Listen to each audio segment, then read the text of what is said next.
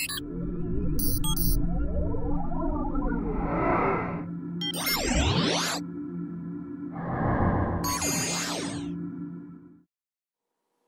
this is Jaime with Echo Real Estate Advisors.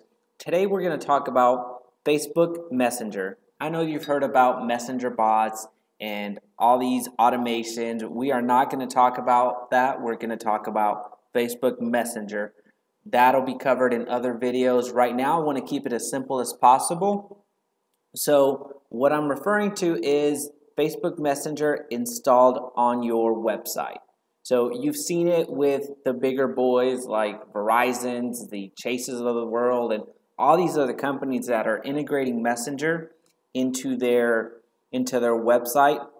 So you have that same capability right now if you have a Facebook business page and it's very easy to do. We're going to do this probably in less than 10 minutes, actually for sure in less than 10 minutes. So what I'm referring to is this right here. This is my website and then you can have a conversation and you can automate it by having those mentioned uh, messenger bots, but again, we're going to keep it simple. We're just talking about the simple messenger um, application on your website. So let's begin.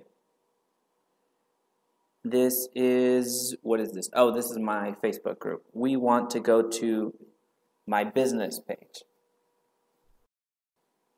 And this is my business page. You're going to go over to settings. Again, this is your business page is not going to work for your personal Facebook uh, Messenger.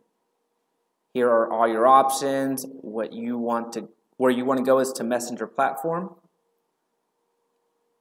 Scroll down. This is going to be the trickiest part. You want to whitelist your domain. So th these are different uh, variations of my domain, but essentially it's the same domain. Uh, and if you have other other domains, go ahead and whitelist them because it will not work unless you whitelist the domain. So whatever domain you're trying to install it in, this Facebook Messenger, as you can see right there. That's what you want to put in here and do that before or after. I encourage you, now that you're here, to go ahead and add that before you go over to Messenger. But the actual creation of the plugin of the Facebook Messenger is right here. So you're going to go to Setup. You're going to go to Next. And then here is where you can create the welcome. So, hi, how can I help you? So you can change that and put welcome. How can I be of service today? Save. And it has saved. You can put different languages. English is fine for us today. And what's super cool about this is you get to create you get to create a custom color. So for example, my color scheme, my custom color is 99 oops 99 1 2 3 4 four zeros and there you go. And that's what you see over here. So that is super cool. You you can put automatically set response time, typically replies instantly. So essentially that's what goes up here. When you click here, you set the expectation of when they can expect a, a response. I want to give a more authentic feel, a more manual, interactive feel versus an automated feel. So if I wanted to do just straight automation, I would put typically replies instantly. So when you read that, that means talking to a robot. I'm not talking to a person. So I went with minutes, and that's that's what we'll do here. Go to next. You put your domain up there, and when you left click, you copy it onto your clipboard. So for this example, we're just going to put finish and be done with it. And again, I have Squarespace. You may have Wix, you may have WordPress, you may have uh, landing pages. For example, I have ClickFunnels as my landing page, so that's something that I would work on putting this code in there as well. But for this example, we're going to stick to Squarespace. Depending on which service provider you're using, or you're hosting your website on, they're going to have their own unique um, instructions on how to actually inject the code. What's going to be universal for you is what we just did, the actual creation of the code. But then when you go and install it, that's going to look differently. So again, this is off of Squarespace. It's worked quite well for me, so I, there's no reason for me to get out of this, um, at least not for now. You go to Settings.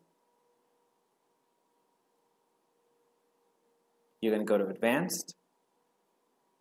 And then you're going to go to Code Injection. So I have two codes here. I have my Facebook Pixel code, and then I have my Messenger code. So the first code that you're going to see is my Facebook Pixel code, which ends right there. Immediately after is the actual code. I'm not gonna I'm not gonna inject the code that we just did because mine's working fine. But if I was trying to change this, this would not be here. Then I would just put Control V, so Control Paste, and you're done. So I'm gonna cancel this because I don't want to replace what I already have.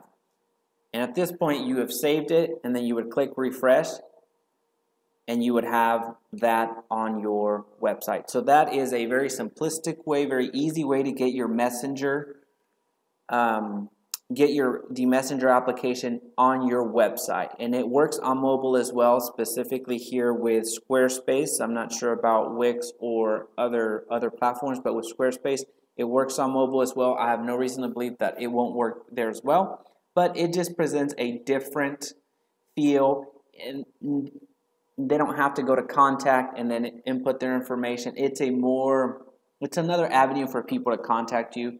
A lot, a lot, a lot of people are on Facebook Messenger and use that as a means of communication. So the fact that you have that there, they're going to be more willing to have a conversation with you without feeling like they're compromising or committing to you by sending you an actual proper form. So that's how you install Facebook Messenger on your website.